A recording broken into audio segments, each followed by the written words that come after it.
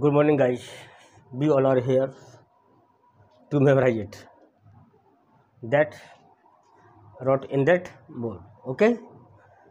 Are you all ready to memorize it? Yesterday, what were we do? I think we all complete our first lesson. The portrait, the portrait of a lady. Okay? Today, we have to do question and answer of that particular lessons. Okay? Let's move. देखिए, हम लोगों ने कल क्या किया था कि पहला चैप्टर पूरा कर लिया था, ठीक है तो आज इसके हम कुछ सिंपल सिंपल क्वेश्चन आंसर करते हैं कैसे सिंपल और जब सिंपल कर लेंगे तो फिर हम स्वाभाविक सी बात है कि इसके बाद टफ भी करेंगे, ठीक है चलिए देखिए देखिए क्वेश्चन नंबर फ़र्स्ट देखिए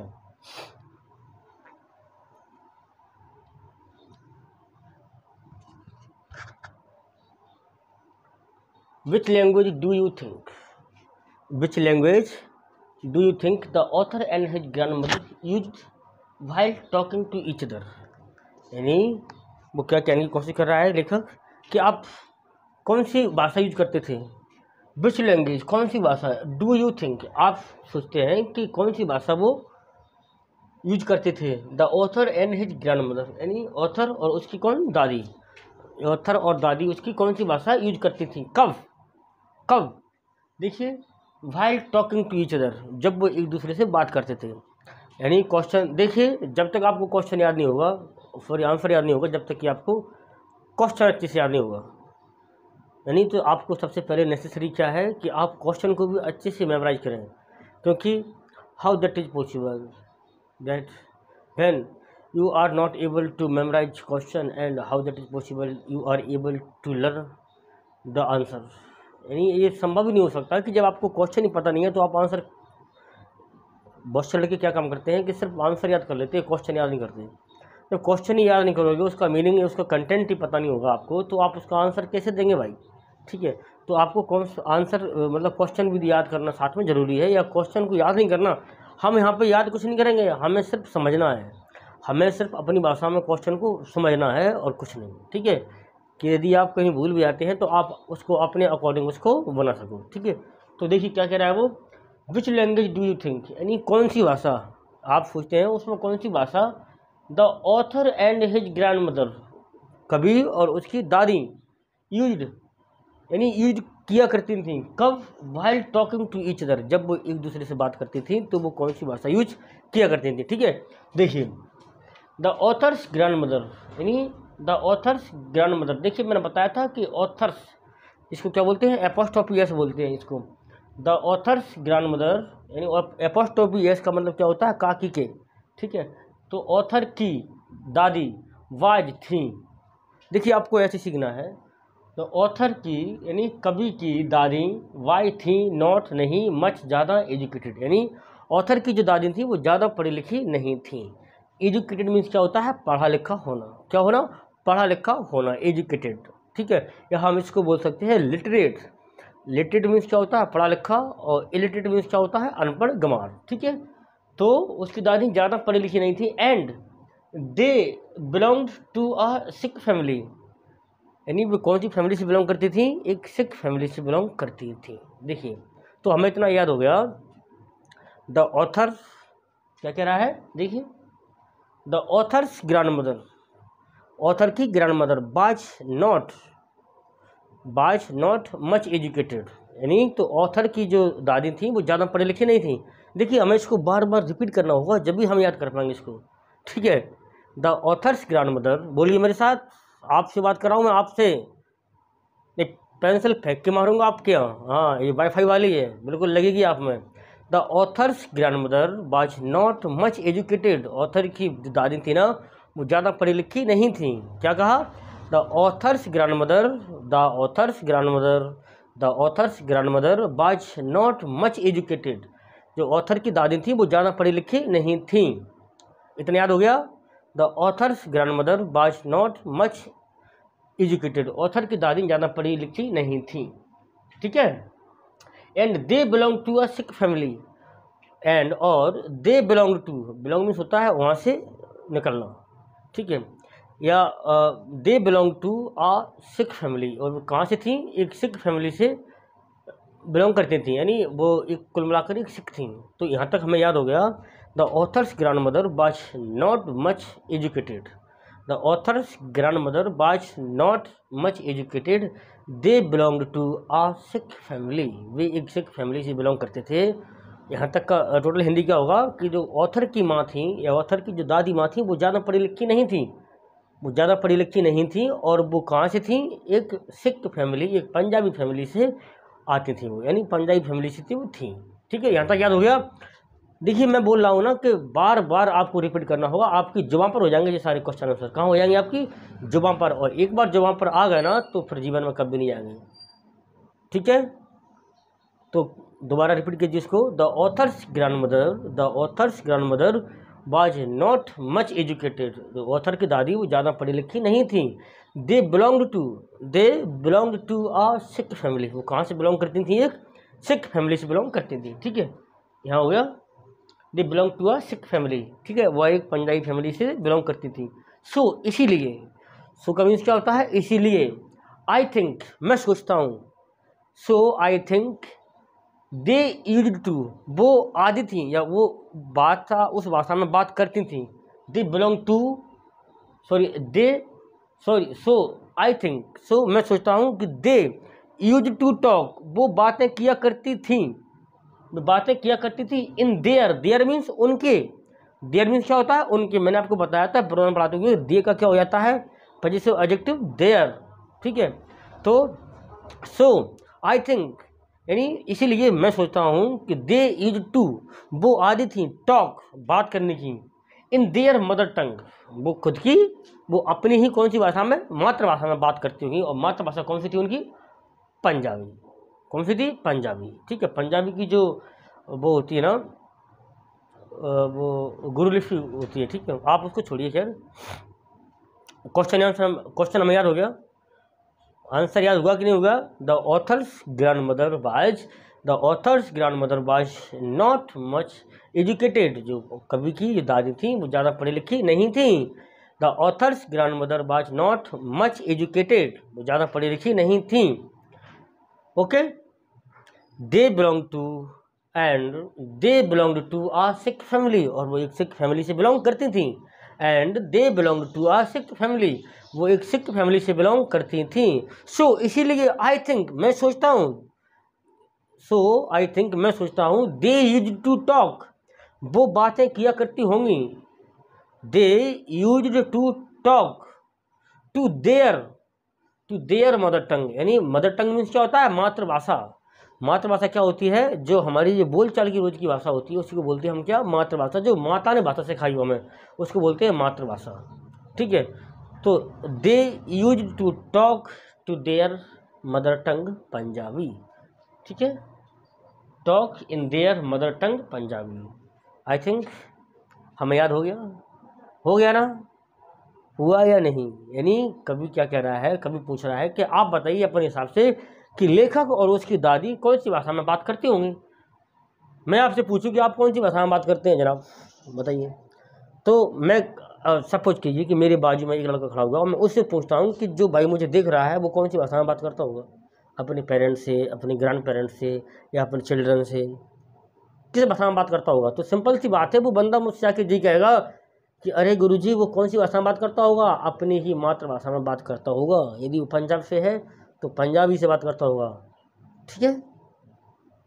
तो वही बात यहाँ पे चल रही है। तो हम इसको one more time we have to repeat it again okay let start the author's grandmother the author's grandmother यानी ऑथर की दादी बाज नॉट मच एजुकेटेड ज़्यादा पढ़ी लिखी नहीं थी वो। इतना हो गया? They belong to they belong to a Sikh family वो एक सिख फैमिली से बिलोंग करती थी।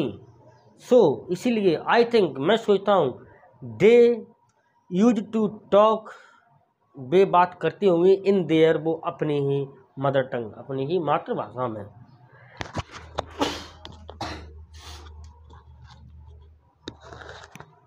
ठीक है? आई थिंक आपको इतना याद हो गया होगा। देखिए अगला आंसर अगला question which language do you use कौन सी, आप कौन सी भाषा यूज़ करते हैं? देखिए विच लैंग्वेज कौन सी? विच लैंग्वेज यानी कौन सी भाषा डू यू यूज़ आप कौन सी भाषा यूज़ करते हैं? टू टॉक बोलने के लिए टू एल्डरली रिलेटिव्स अपने जो वृद्धजन होते हैं, उनसे। इन योर फैमिली यानी जब आप अपने ही बड़े बूढ़ों से बात करते हैं अपनी फैमिली में तो आप कौन सी भाषा का यूज़ करते हैं? कौन सी भाषा का यूज़ करते हैं? देखिए, सबसे पहले हमें ज़रूरी हो जाता है कि हम अपना क्या करें? हम अपना क्वेश्चन का ही अच्छे से समझें। क्वेश्चन देखिए, जब हमें, आप मैथ का टीचर आपको सिखाता होगा, मैं देखिए सभी टीचरों की रिस्पेक्ट करता हूँ, क्योंकि मेरे देखिए सब मुझसे बड़े हैं। तो आपके जो मैथ के टीचर हैं, वो आपसे हमेशा यही कहते होंगे कि यदि आपको मैथ का क्वेश्चन सॉल्व नहीं होता तो आपने एक कमी की है। क्या? कि आपने उस क्वेश्चन को अच्छे से समझा नहीं है। तो वो आपके टीचर आपको बोलते होंगे कि please read it one more time कि आप इसको एक बार और पढ़ें। आप उस क्वेश्चन को ध्यान से पढ़ें। मतलब पूरा मन को एकाग्रचित कर कर आप उस क्वेश्चन को पढ़िए, आपसे वो क्वेश्चन होगा। होता है ना, ऐसा बोलते होंगे आपके टीचर ठीक है? तो इसलिए मैं कह रहा हूँ कि हमें आंसर देने के लिए हमें सबसे ज़रूरी क्या हो जाता है कि हम क्वेश्चन को अच्छे से समझें। जब तक क्वेश्चन समझ में नहीं आएगा तो आंसर क्या? आपको पता ही नहीं है कि जाना कहाँ है तो आप जाएँगे किसी? सही है या गलत? जब आपको पता ही नहीं है कि हमें जाना कहाँ है तो आप जाएँगे कहाँ? जाएँगे कैसे? ठीक है? तो क्या कह रहा है वो? Which language do you use आप कौन सी भाषा यूज़ करते हैं? कब? टू टॉक बोलने के लिए। To elder to elderly relative अपने वृद्धजनों से, जो आपके रिलेटिव हैं। आप कहाँ पर? इन योर फैमिली आपकी ही फैमिली में। ठीक है? I usually talk to my parents यानी मैं क्रमशः अपने पेरेंट्स से बोलता हूँ। I usually I usually talk to my parents I usually talk to my parents and grandparents grandparents means क्या होता है? दादा, दादी, ठीक है? I usually talk to my parents and grandparents I usually talk to my parents and grandparents. I usually talk to my parents and grandparents. In Hindi कौन सी भाषा में बोलता हूँ मैं? हिंदी में बोलता हूँ, ठीक है? I talk to my parents and grandparents in Hindi मैं अपने माता पिता और दादा दादी से कौन सी भाषा में बात करता हूँ? हिंदी में बात करता हूँ। इतना हो गया। I usually talk I usually talk to my parents and grandparents in Hindi मैं अपने दादा दादी और अपने माता पिता से बात करता हूँ हिंदी में, ठीक है? As it is our mother tongue किसके रूप में? जैसा कि यह है। अवर हमारी मदर टंग। एज, जैसा कि it is our mother tongue. It is our mother tongue, जैसा कि वो हमारी क्या है? मातृभाषा है।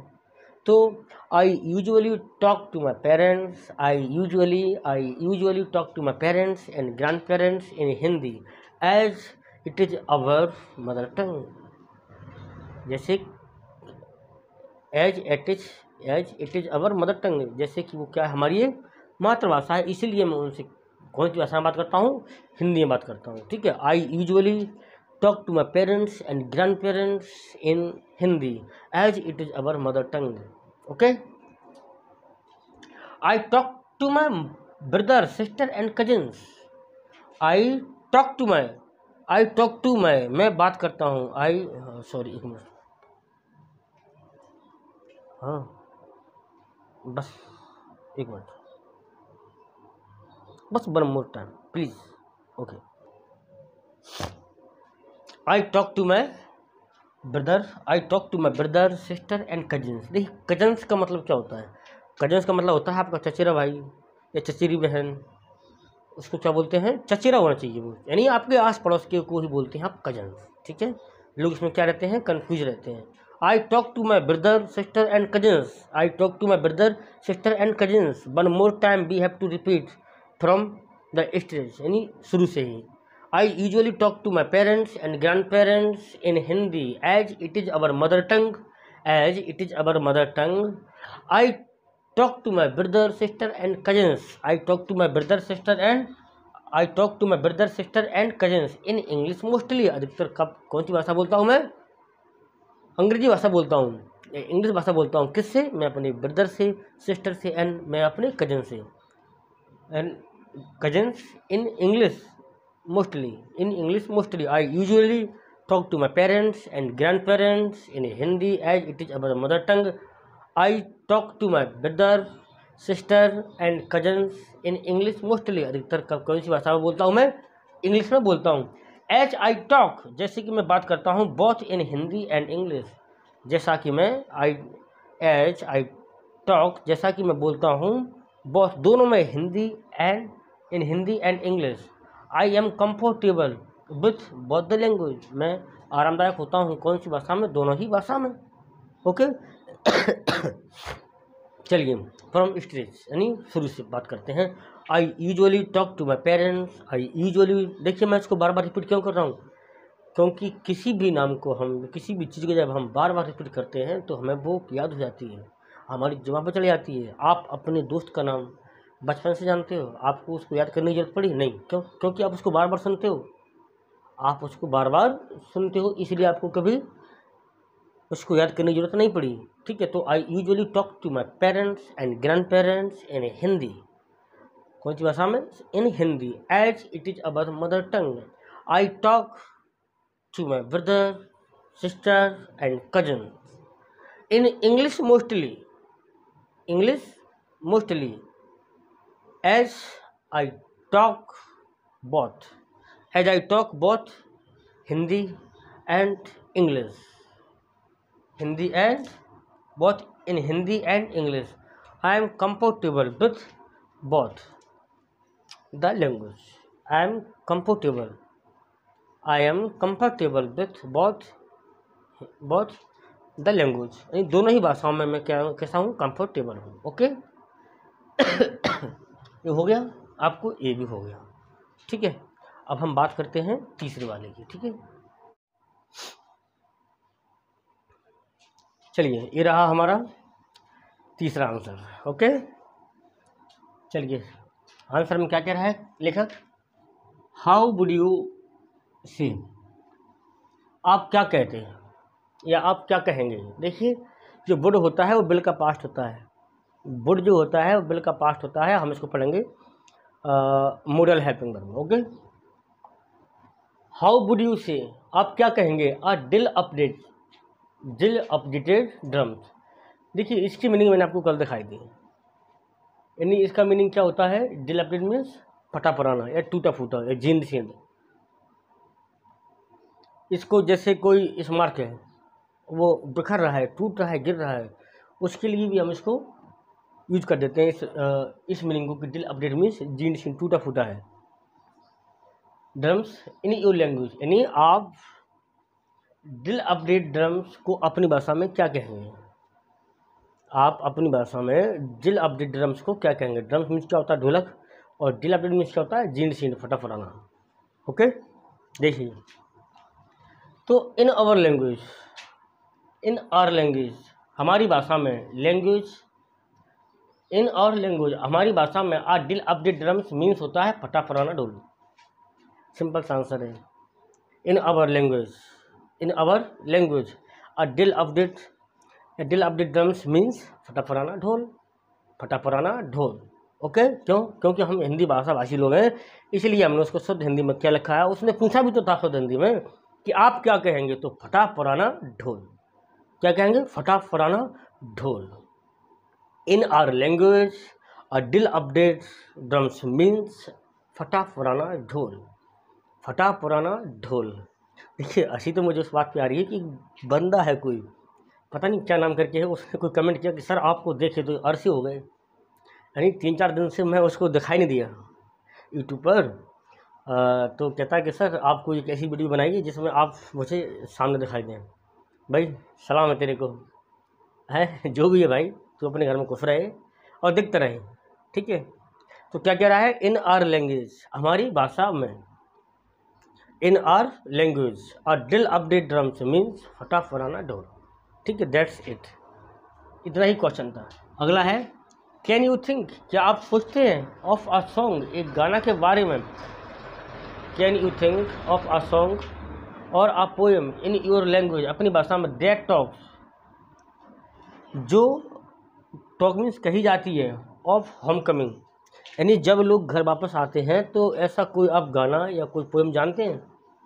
ऐसा of a songs and a poem क्या आप ऐसी कोई सॉन्ग या कोई पोएम जानते हैं? जब आपके घर पर कोई लौट के आता है, आप उसकी खुशी में गाना गाया करते हैं या पोएम को सुनाया करते हैं? देखिए, अरसे बीत गए। पहले क्या है कि जब गाँव में लोग खेती किया करते थे तो तरह तरह के जब कोई आ रहा है, तब कोई अलग गाना गाया जा रहा है तब कोई जा रहा है तो अलग कोई गाना गाया जा रहा है। बैसाखी है तो उस पर कोई अलग गाना गाया जा रहा है। अगर जैसे सपोज़ आज से नव दुर्गा चालू हो गए हैं, माता जी के जयकारी शुरू हो गए हैं, ठीक है, आप सबको उसकी बहुत बहुत धन, बहुत खुशियाँ।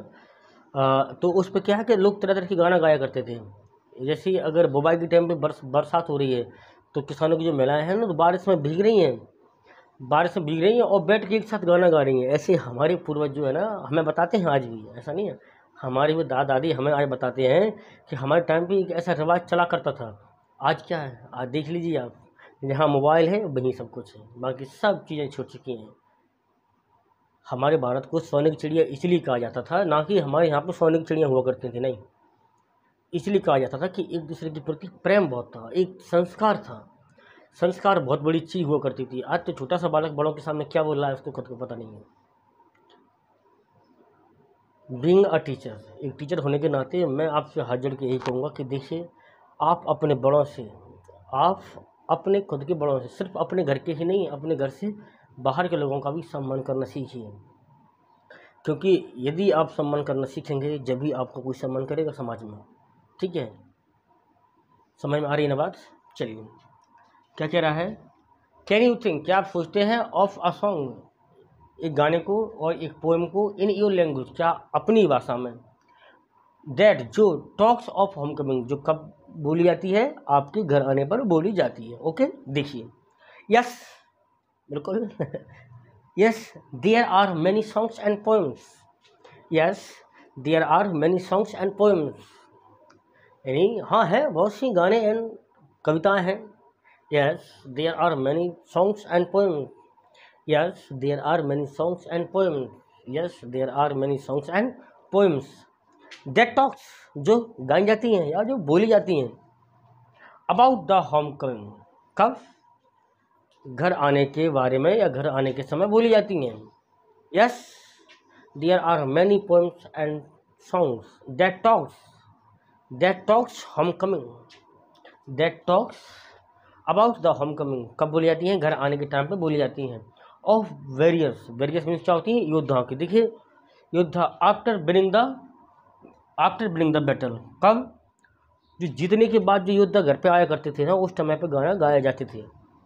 दैट टू वह भी इन बोथ लैंग्वेज दोनों भाषाओं में, हिंदी एंड इंग्लिश में। कौन सी में? हिंदी एंड इंग्लिश में। देखिए, आज मुझे आपको पढ़ाकर पता नहीं क्यों खुशी हो रही है। और रियल बात भी ये है कि एक स्टूडेंट एक स्टूडेंट को पढ़ता हुआ देखकर जो टीचर को खुशी होती है ना, उतनी आई थिंक उसके पेरेंट्स को भी नहीं होती होगी। और होना चाहिए, हर टीचर को होना चाहिए। ठीक है? तो आंसर क्या क्या रहा है? Yes there are many songs and poems that talk about the homecoming about the homecoming homecoming of warriors of warriors of bring the battle of warriors after bring the battle that too hindi and english that too in both language hindi and english chaliye i think we all are memorized that two answers okay देखिए one more time we have to repeat yes yes there are many songs and poems that talks, जो गाई जाती हैं। यहाँ पर बहुत सी क्या है सॉन्ग्स एंड पोएम्स हैं जो गाई जाती हैं। जो गाई जाती हैं। कब? अबाउट द होम कमिंग घर आने पर। घर आने पर। Of warriors of warriors after winning the battle that too that too in both Hindi and English okay चलिए। हमें देखिए चार क्वेश्चन याद हो चुके हैं। हो चुके हैं। देखिए आज छोटे छोटे क्वेश्चन इसलिए किए हैं क्योंकि शुरुआत किसी भी काम की करो, छोटे से ही की जाती है। ठीक है, एक साथ बड़ा करने की हम जब खाना खाते हैं तो एक साथ तो नहीं खा लेते ना। खाते तो छोटे छोटे हैं। तो इसी तरह से हर काम को शुरू करने का एक हल्का से पहले उठाइए आप पहले। ठीक है? चलिए। अब हम मिलते हैं। नेक्स्ट वीडियो में, जब तक के लिए आप अपना होमवर्क पूरा करिए। और हाथ जुड़ के बनती है भाई, जो ग्रामर पढ़ाइए आप उसको रिवाइज करते रहिए, क्योंकि ग्रामर रिवाइज मांगती है, ठीक है? और मैं ग्रामर का बीच बीच में सेशन लेता रहूँगा। ऐसा नहीं है ग्रामर को मैंने छोड़ दिया, नहीं। ठीक है? और यदि आपको रियल में मज़ा आया हो तो आप अपनी फैमिली को बढ़ाने के लिए ज़रूर मेरा साथ दें। ठीक है? अपने चैनल को लाइक करें शेयर और सब्सक्राइब करें। ठीक है बाय